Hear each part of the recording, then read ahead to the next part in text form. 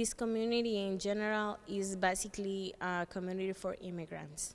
And you can see in the street the fear Stephanie Espinal knows immigrants in the Bushwick neighborhood are frightened. She works firsthand with them through Catholic Migration Services. At this parish center, a part of St. Joseph Patron Church, monthly meetings cover a variety of topics regarding immigrants' rights. Stephanie's mission is to ease frustration. Educate the community, inform the community, try to put the people like relax, hey, you need to take it easy. But residents are still on edge. Sonia Tikse works with DACA teens through the parish's youth ministry, and she wants to help them find resources. They asking where we can go, how we can do this. Did you hear this? It's true. Nah, it's most the parents. The kids kind of like they're not getting it, but the parents definitely the ones that coming to us to asking for help. Of the nearly 200 teens she worships with, Sonia says about a quarter are dreamers. It's a heartbreaker to see this situation because I know uh, many teenagers that they're good kids that just want to study, get a profession,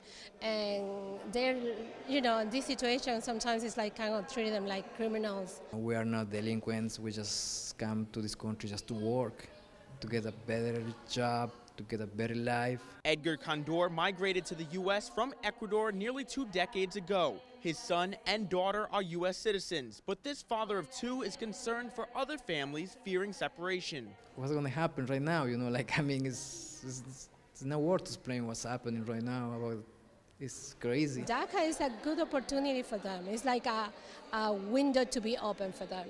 So it's, it's, very, it's very sad to see this situation. Immigrants with DACA status set to expire before March 5, 2018 can file a renewal application, but must do so before October 5th. Anyone with questions can visit www.catholicmigration.org. Reporting for Currents from Bushwick, I'm Tim Harfmann.